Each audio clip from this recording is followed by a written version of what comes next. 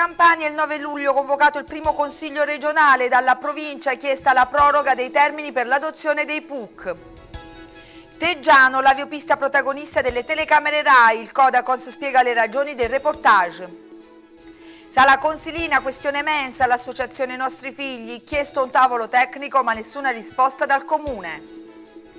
Sala Consilina, successo per l'English Camp organizzato dal B&B Dolce Vita e dall'ACLE, bambini e ragazzi entusiasti dell'iniziativa. Gran Fondo Tanagro, stamane la presentazione della seconda edizione. Buonasera e bentrovati con l'appuntamento con l'informazione di Uno News. In apertura parliamo di politica e in particolare ci occupiamo della regione Campania. A due giorni dalla sentenza del Tribunale di Napoli non si placano le polemiche sulla vicenda. Intanto è stato convocato per giovedì prossimo 9 luglio il primo consiglio regionale con all'ordine del giorno la presa d'atto della proclamazione degli eletti, l'elezione del Presidente del Consiglio regionale eh, e dei componenti componenti dell'ufficio di presidenza l'esposizione inoltre del programma di governo da parte del Presidente della eh, Giunta con la relativa discussione. Vediamo.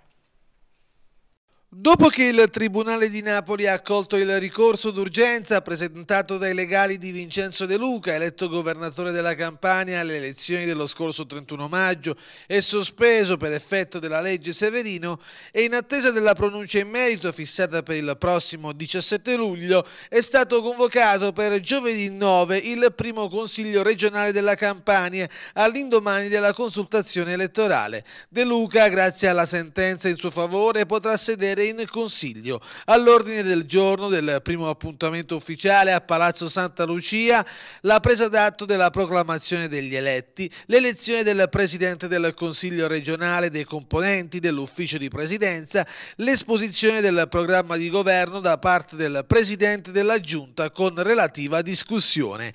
Vincenzo De Luca ha detto, dopo questo Consiglio saremo pienamente operativi e faremo atti operativi. Da lunedì daremo già i primi orientamenti. Rigore, trasparenza e sobrietà, questa sarà la nostra campagna. Il neoeletto governatore sulla sentenza del Tribunale di Napoli aggiunge la sentenza ci consente di uscire da questi giorni di incertezza. Ora governiamo e finalmente si acquisisce il risultato fondamentale, il rispetto per i cittadini che votano. Intanto dalle opposizioni le polemiche continuano. Il Movimento 5 Stelle continua a chiedere il ritorno alle urne. Quella su De Luca è solo la prima sentenza, avremo colpi di scena. De Luca liberi le istituzioni regionali e se ne torni a casa. Tra le fila di Forza Italia, posizioni ancora più nette a partire dal portavoce alla Camera dei deputati Mara Carfagna che ha scritto se al posto dell'ex sindaco di Salerno ci fosse stato un esponente del centrodestra, la decisione sarebbe stata la stessa e sarebbe arrivata con la medesima velocità? In un paese che vuole essere considerato civile, in uno Stato di diritto, tali domande non dovrebbero neanche porcere. Continua, ma purtroppo siamo abituati a vedere trattamenti diversi a seconda delle appartenenze politiche. Mi consola solamente sapere che almeno i campani non vivranno più nell'incertezza riguardo al loro futuro. E passiamo ora invece all'ente provinciale perché nel corso dell'assemblea di giovedì la provincia di Salerno ha deciso di inoltrare alla regione Campania una richiesta urgente di proroga di 18 mesi nella scadenza entro i quali i comuni dovranno dotarsi dei rispettivi PUC, la cui adozione scade per 148 dei 158 comuni della provincia nella giornata di oggi. Giovedì si è svolta presso la sede della provincia di Salerno a Palazzo Sant'Agostino l'assemblea aperta dell'amministrazione provinciale con i sindaci e rappresentanti dei comuni.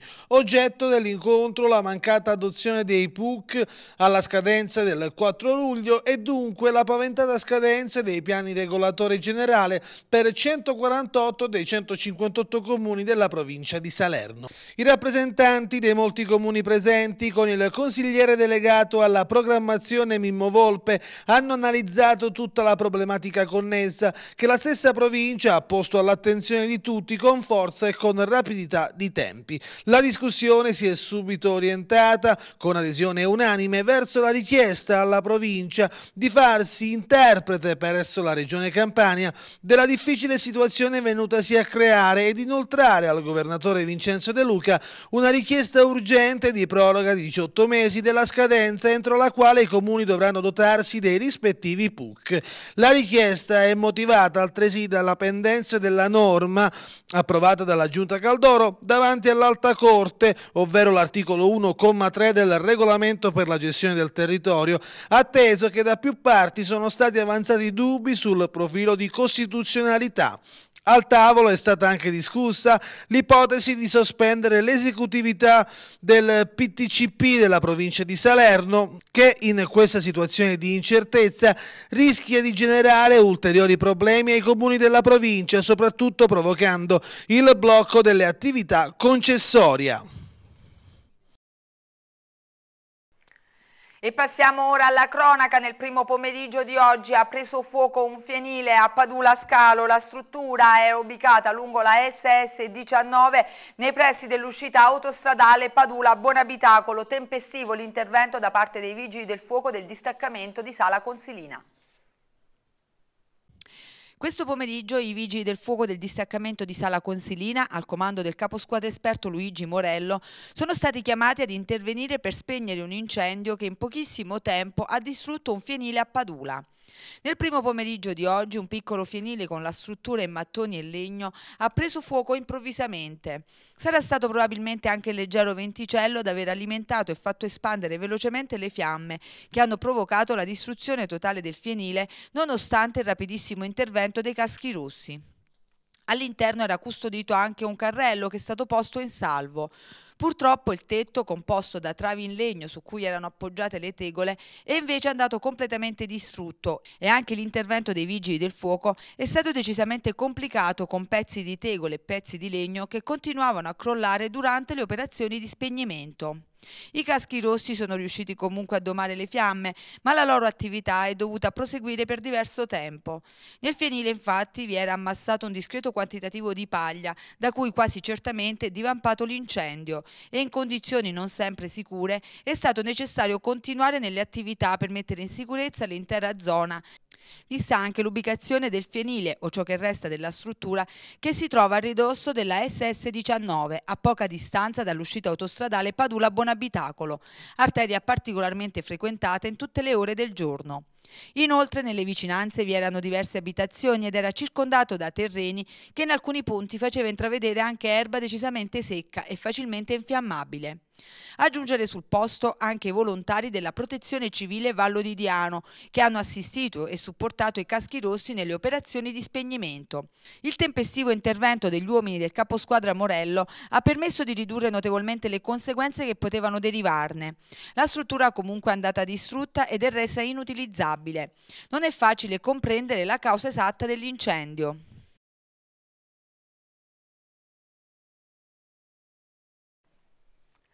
Doppio incidente stradale ieri pomeriggio ad Atena Lucana e a Silla di Sassano. Due motociclisti hanno avuto la peggio in uno scontro con un camion e un'autovettura. I due però, trasportati presso le strutture ospedaliere, non sono in pericolo di vita. Due motociclisti feriti in altrettanti incidenti a distanza di poche ore uno dall'altro. Nella prima serata di ieri, intorno alle ore 19, a Silla di Sassano, un ragazzo di 31 anni di Teggiano si è imbattuto nell'autovettura guidata da una giovane, mentre la stessa si stava immettendo nel piazzale di un negozio in località di Silla di Sassano. Sul posto i militari del nucleo operativo e radiomobile di Sala Consilina per i rilievi del caso e i soccorsi dei sanitari, che dopo le prime cure hanno provveduto a trasportare il 31enne presso l'ospedale Luigi Curto. Il ragazzo subito dopo l'incidente è rimasto cosciente ed ha parlato con i sanitari nel corso delle cure. Le sue condizioni non sono gravi ed è rimasto ricoverato in ospedale in via precauzionale, ma le sue condizioni non destano preoccupazione. L'episodio di Silla di Sassano ha seguito di poche ore un altro incidente che si è verificato sempre ieri nel primo pomeriggio, intorno alle ore 14 ad Atena Lucana Scalo, nei pressi del caffè Victor, con dinamica pressoché simile. L'incidente ha visto coinvolti una moto guidata da un 34enne di Sant'Arsenio che viaggiava in direzione Sala Consilina ed un furgone che procedeva in senso opposto, che si stava accingendo a svoltare sulla sinistra per immettersi in una stradina laterale della SS19 delle Calabre. Sul posto immediato l'intervento dei carabinieri della stazione di Sala Consilina e i sanitari del 118.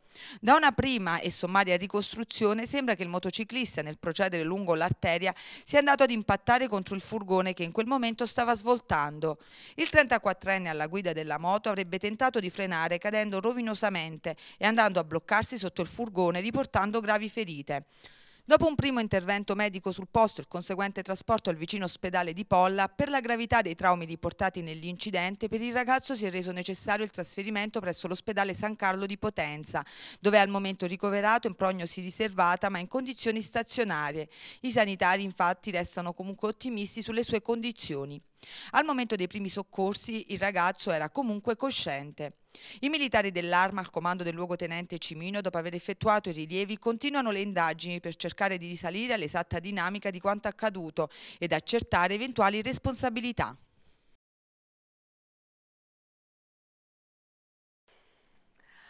Ancora cronaca, la compagnia Carabinieri di Sapri al comando del capitano Emanuele Tamorri prosegue nelle sue attività dedite al contrasto e alla repressione del reato di contraffazione commerciale nell'ambito di appositi servizi posti in essere durante il mercato settimanale a Sapri. I carabinieri della locale compagnia, nello specifico diversi militari disseminati tra le bancarelle, hanno fermato due persone provenienti dal Casertano intende a vendere borse con marchi contraffatti. Per loro è scattata la denuncia ed il sequestro di una cinquantina di borse delle maggiori case di moda, tra cui anche le Louis Vuitton. Nel medesimo servizio sono stati bloccati ed identificati numerosi individui provenienti dal napoletano nell'atto di vendere centinaia di paia di calze poi sequestrate amministrativamente, elevate contravvenzioni per 20.000 euro. E cambiamo ora argomento, l'aviopista di Teggiano torna protagonista e questa volta lo fa attraverso le telecamere della RAI. Il giornalista Beniamino Daniele eh, di Agora eh, realizza un reportage sull'opera per far luce sulla necessità o meno di sostenere la spesa per la sua realizzazione. Sul servizio è intervenuto e soprattutto sull'utilità sull eh, della struttura è intervenuto il Codacons Vallo di Diano. Lo scorso primo luglio è stato trasmesso un reportage effettuato dal giornalista Rai Beniamino Daniele sull'aviopista di Teggiano, un'opera su cui aveva particolarmente puntato la precedente amministrazione teggianese guidata da Michele Di Candia, con il progetto caratterizzato da un numero infinito di ricorsi e controricorsi con blocco dei lavori continuo. Una lunga vicenda su cui si è spesso dibattuto e per la cui realizzazione nei mesi scorsi il governo aveva riconosciuto al comune un ulteriore finanziamento di quasi 2 milioni di euro. La superficie di Teggiano era considerato dalla giunta di Candia già nel 2002 la biosuperficie di Teggiano era considerata dalla giunta di Candia già nel 2011 un progetto di interesse territoriale su cui l'intero territorio doveva puntare, visto l'uso a cui era destinato, come spiegato da una delle tante delibere della passata amministrazione, delibera di giunta numero 52 del 12-4-2011, in cui si legge la biosuperficie di Teggiano va finalizzato anche in relazione ai servizi sociosanitari. Inoltre è opportuno prevedere all'etere della stessa prevista un'area funzionale di interporto per la logistica delle merci. Questo quanto riportato nella delibera a firma dell'ex sindaco di Candia.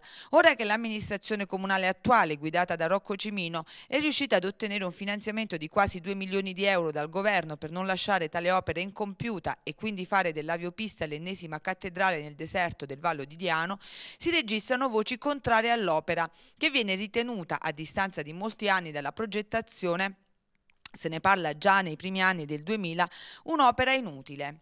Il report di Beniamino Daniele, trasmesso dalla RAI, parla infatti di uno spreco di denaro, lasciando trapelare un certo disinteresse da parte della popolazione.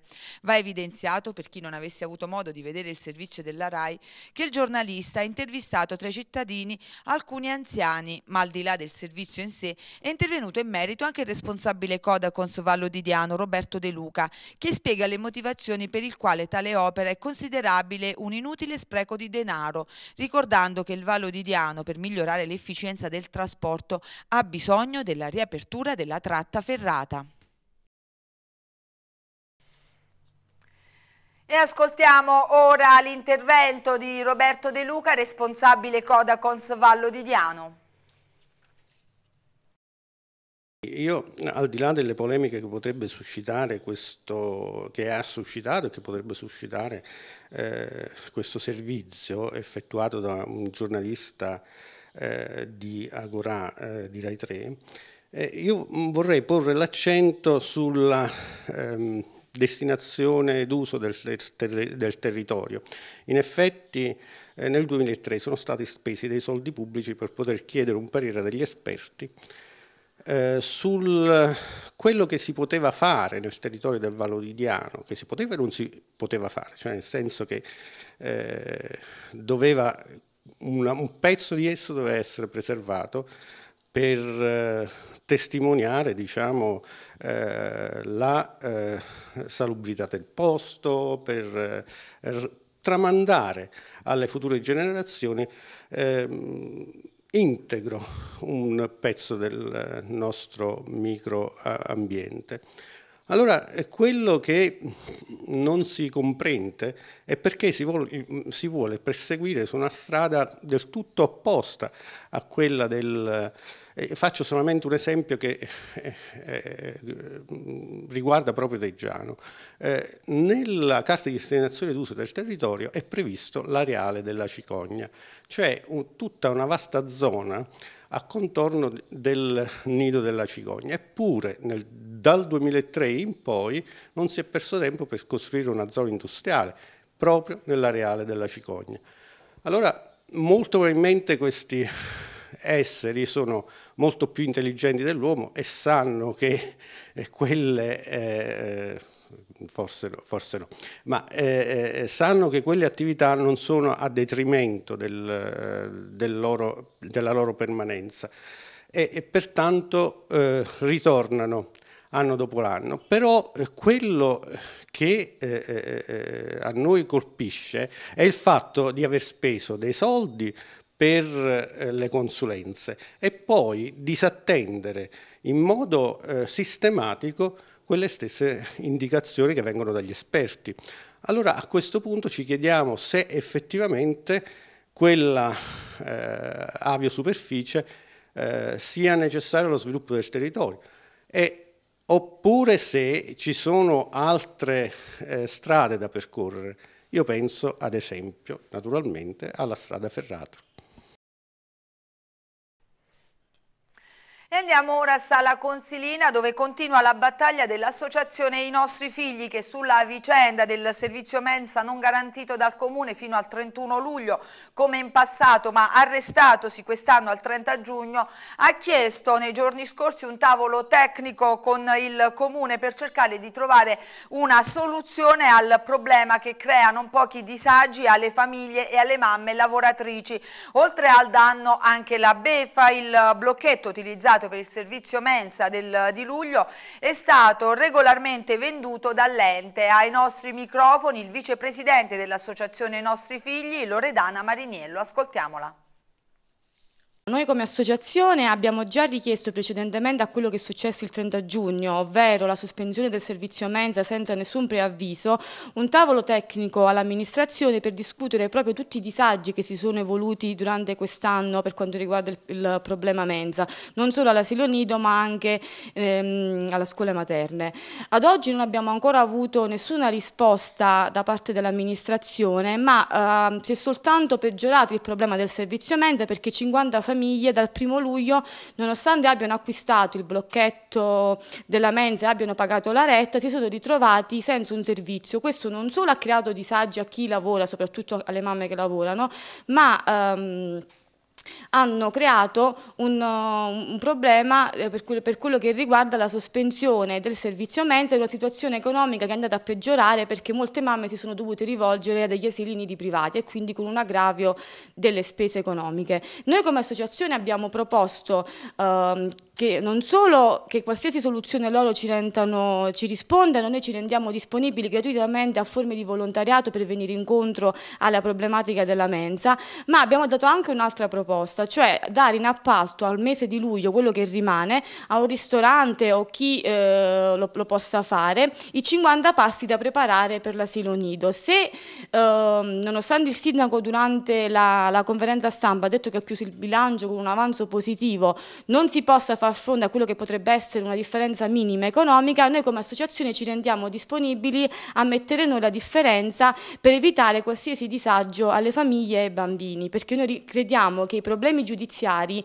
che riguardano gli adulti non debbano ricadere eh, sui bambini dell'asilo nido che si trovano passivi a, a recepire quelle che sono le scelte degli adulti. La Confartigianato Vallo di Diano fa il punto sulla situazione del progetto Garanzia Giovani che l'ha vista in primo piano grazie ad un protocollo d'intesa stipulato con l'Arlas nell'azione di sensibilizzazione del programma su tutto il territorio del Vallo di Diano, del Golfo di Policastro e del Cilento. La delegazione territoriale della Confartigianato Vallo di Diano, attraverso un protocollo d'intesa con l'Arlas, l'Agenzia Territoriale per il Lavoro, ha avviato un'azione di sensibilizzazione sul programma Garanzia Giovani, interessando a tappeto le imprese e gli enti locali del territorio del Vallo di Diano, Golfo di Policastro e Cilento. L'azione continua della delegazione ha permesso di credere in un progetto targato Unione Europea e Regione Campania per per l'inserimento lavorativo dei giovani del territorio. Da dicembre si sono presentati decine di progetti di garanzia giovani sia per enti sia per imprese, nonché attraverso una convenzione con delle agenzie per il lavoro sono stati effettuati svariati colloqui a ragazzi del posto. Da giugno sono stati avviati i primi ragazzi di garanzia giovani ospitati negli enti locali partendo dai comuni di San Rufo, San Pietro Altanagro, Sant'Arsenio, Casaletto Spartano Spartano, San Giovanni a Piro e Rofrano. Numerose imprese, grazie all'azione di sensibilizzazione della Confartigianato Vallo di Diano, hanno avviato i tirocini di garanzia giovani. Tra giugno e luglio, oltre 100 ragazzi dai 18 ai 29 anni verranno avviati al programma di garanzia giovani. In merito, la responsabile dei servizi della Confartigianato Vallo di Diano, Maria Antonetta Aquino, ha dichiarato «Abbiamo creduto fin dall'inizio in questo nuovo progetto dell'Unione Europea che permette ad un ragazzo neodiplomato o neolaureato di fare la sua esperienza lavorativa e nello stesso tempo all'impresa di valutare una risorsa umana senza costi aggiuntivi. È un programma di notevole lungimiranza che vuole riscattare la politica sociale e del lavoro della regione Campania. Credo che i principi su cui si basa questo progetto siano fondamentali per l'integrazione sociale e lavorativa, ma auspico che vengano realizzati effettivamente. Noi, aggiunge Aquino, come associazione di categoria da oltre due anni, siamo presenti sul territorio e forniamo informazioni sullo scenario delle varie opportunità che possono agevolare la vita vita imprenditoriale e dei giovani presenti sul nostro territorio perché, e conclude il responsabile dei servizi Confartigianato Vallo di Diano, anche io essendo giovane professionista di questa terra credo fortemente nelle potenzialità purtroppo ancora inespresse di questo territorio. E ora ci fermiamo per una breve pausa pubblicitaria, tra poco con il resto delle nostre notizie. Bentornati alla seconda parte del nostro TG che apriamo con eh, Sala Consilina dove si è concluso ieri con lo spettacolo di fine corso l'English Camp organizzato dall'Associazione Culturale Linguistica Educational in collaborazione col B&B eh, Dolce Vita che dal 22 giugno ha visto bambini e ragazzi delle scuole primarie e secondarie di primo grado impegnati in attività ludico-ricreative ed educative finalizzate all'apprendimento dell'inglese. Grande grande entusiasmo tra i partecipanti presso pronti a ripetere l'esperienza. Divertimento, grandi risate e voglia matta di parlare e cantare in inglese. Si può sintetizzare in queste parole il bilancio dell'English Camp organizzato dal Bed and Breakfast Dolce Vita di Trinità di Sala Consilina e dall'Associazione Culturale Linguistica Educational che dal 22 giugno al 3 luglio ha coinvolto bambini e ragazzi del Vallo di Diano in una serie di attività ludico-ricreative ed educative, tutte rigorosamente svolte in lingua inglese. Grande entusiasmo si è respirato nella serata conclusiva di ieri con con i tutor di madrelingua inglese, gli helpers e i partecipanti valdianesi che hanno continuato a ridere, scherzare e soprattutto a cantare utilizzando prevalentemente la lingua inglese. Risultato quindi raggiunto abbondantemente. Lo scopo dell'iniziativa infatti, su cui da diversi anni si concentra l'ACLE, è proprio quello di incentivare i bambini e i ragazzi verso l'apprendimento della lingua universale, allontanandoli da quel senso di obbligo che può invece venire fuori durante le normali lezioni scolastiche. Far quindi in modo che vi sia la passione e la voglia personale di imparare e soprattutto di esprimersi in un'altra lingua. Entusiasti bambini e ragazzi, circa 40 alunni delle scuole primarie e secondarie di primo grado, che hanno partecipato al camp ed altrettanto entusiasti gli helpers, studenti delle scuole secondarie di secondo grado del Vallo di Diano, che in questi giorni hanno avuto il compito di collaborare con i tutors di madrelingua e assistere nel contempo i partecipanti al camp. Allegria e grande professionalità poi è stata dimostrata dai tutors laureati laureati e laureandi provenienti dai paesi anglofoni. Una full immersion che ha consentito di entrare in contatto e di spingere i ragazzini a parlare inglese mentre i tutor che con sorrisi e dolcezza spingevano verso la giusta pronuncia delle parole. Durante l'English Camp, inoltre, è stato possibile confrontarsi sulle differenze o anche sulle abitudini comuni, favorendo così la globalizzazione. Soddisfatto di questa prima esperienza nel Vallo di Diano, il presidente dell'associazione ACLE, Raffaele Nasti, che si è detto pronto e disponibile a riproporre il camp anche il prossimo anno, vista anche l'ottima organizzazione del Bed and Breakfast Dolce Vita che ha consentito di raggiungere l'obiettivo desiderato.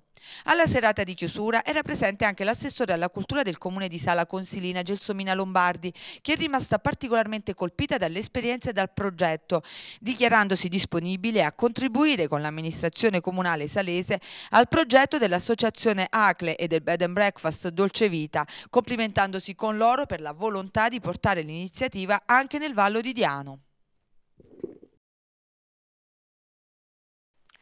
E in merito ascoltiamo ora le interviste realizzate al presidente dell'ACLE Raffaele Nasti e ai ragazzi valdianesi che in questi giorni sono stati impegnati come helpers del progetto. Stiamo parlando di Maria Antonietta Padovani, Giovanni Luzzi, Luigi Delia e Laura Dalvano. La zona è bellissima e quindi arrivare nel Valle di Diano è stata una cosa molto gradevole anche per gli stessi tutor che sono rimasti entusiasti della gente, dei ragazzi, poi io ho visto anche lo show finale ed è stata una cosa bellissima, una professionalità eccezionale. Noi questa cosa la facciamo da tanti anni e non intendiamo dire insegniamo l'inglese in due settimane, noi vogliamo dare l'emozione ai ragazzi di imparare una lingua in allegria, giochi, canzoni, animazione, tutto ciò che è allegria in lingua inglese. E quando una cosa la fai con allegria si sviluppa un'emozione particolare che poi per la vita intera ti serve. L'inglese non è più da considerarsi una materia scolastica ma un'abilità per la vita, senza l'inglese non si va da nessuna parte, è come la patente di guida, se, se non prendi la patente qualcuno ti deve portare in giro, senza l'inglese qualcuno ti deve fare da interprete. Poi per il lavoro, per le comunicazioni internazionali, per qualsiasi cosa abbiamo bisogno dell'inglese. Ebbene, questo modo di eh, insegnarlo, di farlo apprendere ai ragazzi da bambini, permette loro di affrontare questa esperienza di vita per sempre e quando una, una, materia scolastica la si apprende in allegria, quando chi ti insegna è una persona positiva, tu in modo positivo te lo porti per tutta la vita. Questa è la cosa noi, in cui noi crediamo molto. Sì, è la prima volta, diciamo, è stata un'esperienza bellissima, formativa e soprattutto stare a contatto con i bambini, anche con uh, ragazzi della nostra età, coetanei, americani, diciamo, ci ha fatto crescere, ci ha fatto anche conoscere magari abitudini che noi non conoscevamo. Sicuramente che se l'abbiamo fatto noi l'inglese lo possono parlare tutti perché magari siamo partiti da zero, quasi un po' tutti. E insomma è stata un'esperienza comunque formativa perché i tutor non sapevano parlare italiano quindi abbiamo dovuto provare, metterci alla prova tutto, tutto il giorno per 10 ore. E in più oh, cercare di trasmettere ai bambini l'amore per una lingua diversa, una lingua nuova e quindi imparare, imparargli anche che si può giocare con qualcosa che magari sono abituati a vederla soltanto come una materia di studio scolastica e pesante forse. Volete rifarlo? Sì, sicuramente. Se ci sarà l'opportunità, perché no? Beh, sicuramente se ci sarà l'occasione di poterci spostare, ben venga, però ci accontentiamo di Sala o del Vallo in generale. Beh sì, è stato interessante il modo in cui hanno proposto l'inglese, soprattutto attraverso i giochi e le canzoncine che venivano cantate al mattino. Credo che per i bambini sia fondamentale imparare l'inglese in una maniera mm, non solo pratica ma anche divertente, in modo che possa rimanere loro qualcosa, eh, un sentimento legato alle, alle parole e a ciò che imparano. Personalmente eh, io vorrei mh, mm, compiere molti viaggi nella mia vita, sogno appunto una vita di viaggi, quindi eh, ritengo l'inglese come anche le altre lingue fondamentali. It's, It's been a pleasure! Passiamo ora allo sport, è stata presentata questa mattina presso la concessionaria Autosala la seconda edizione della Gran Fondo Tanagro, primo memorial Pasquale a Maccapane e Franca Priore, manifestazione eh, ciclistica che si terrà domenica 12 luglio a San Pietro al Tanagro e valida quale settima prova del circuito Scudetto Campania 2015 e prova campionato eh, italiano Interforze. Nel corso della conferenza conferenza stampa sono intervenuti Pietro Costa, presidente dell'associazione organizzatrice Ciclo Team Tanagro, eh, che ha presentato il percorso di 117 chilometri e le manifestazioni collegate eh, all'evento. Poi sono intervenuti anche eh, Domenico 40, sindaco del comune di San Pietro Altanagro, l'assessore del comune di San Pietro Altanagro Antonio Pagliarulo, la dottoressa Maria Antonietta Aquino, responsabile di Confartigianato Vallo di di Diano. A margine della conferenza stampa abbiamo intervistato il presidente di Ciclo Team Tanagro Pietro Costa che ci ha raccontato della manifestazione dato il successo dell'anno scorso, abbiamo voluto eh, intrattenere un pochino meglio non soltanto i ciclisti ma anche i familiari accompagnatori e così abbiamo organizzato per il sabato eh, prossimo, prima della gara, eh, visite guidate gratuitamente sia alla Certosa di Padula che alle grotte di Pertosa, in modo che insomma, chi viene prima che pernotterà qui avrà questa accoglienza da parte nostra. Poi la domenica mattina, dopo che sarà partita la Gran Fondo, ci saranno degli intrattenimenti sul posto, il Parco dei Mulini a San Pietro, dove ci sarà un intrattenimento ciclistico per i bambini. Eh, dopodiché quando ci sarà l'arrivo dall'una in poi del pomeriggio ci sarà il pasta party che la Proloco ha organizzato e che servirà eh, de, delle cose che insomma saranno eh, a disposizione di tutti i partecipanti. Un'altra cosa, il sabato sera c'è un intrattenimento teatrale, c'è un trio di giovani che si chiama eh, Effetto Smorfia, praticamente riprodurranno lo spettacolo che faceva una volta Massimo Troisi, Enzo, De Caro, eh, Lello Arena, eh, l'effetto della smorfia che facevano allora.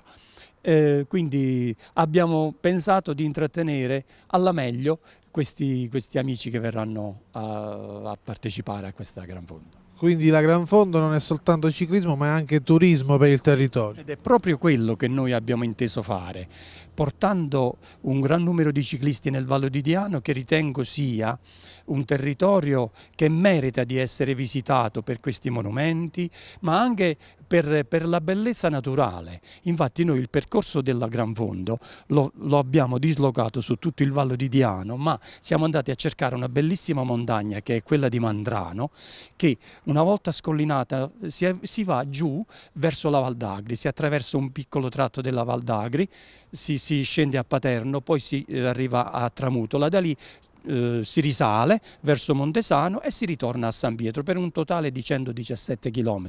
L'anno scorso è stato lo stesso percorso che è stato giudicato bellissimo da chi ha partecipato, io compreso, e quindi visto che è riuscito eh, così eh, intendiamo continuare su questo, questo, questo percorso.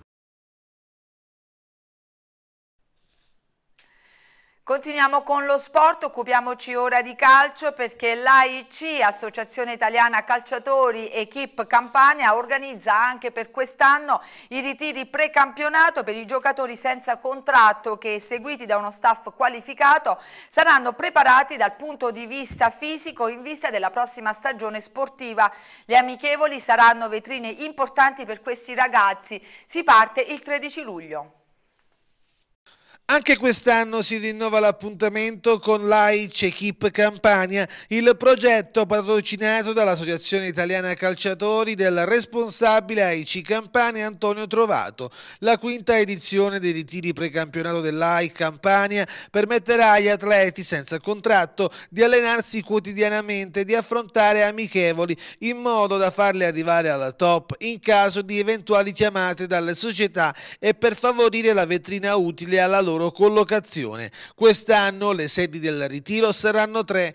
Si parte lunedì 13 luglio alle 8.30 nella storica dimora Equip del comunale di Qualiano in provincia di Napoli. Lunedì 20 poi alle ore 16 prenderà il via il ritiro al campo San Rocco di Napoli, zona Capodimonte, in collaborazione con la scuola calcio Salvatore Sibilli. Infine martedì 21 sempre alle 16 con la collaborazione di Gaetano Iossa, ex Salernitana, ci sarà il raduno al campo comunale di Baronissi, nuovo punto di riferimento per tutti i calciatori della provincia di Salerno. Lo staff dell'Associazione Italiana Calciatori Campania sarà reso noto nei prossimi giorni. Si tratta di un percorso molto importante per i calciatori senza contratto che seguito da uno staff qualificato si prepareranno in vista della stagione 2015-2016. Inoltre, grazie alle diverse amichevoli che saranno organizzate, i ragazzi avranno modo anche di farsi notare passare dalle squadre di calcio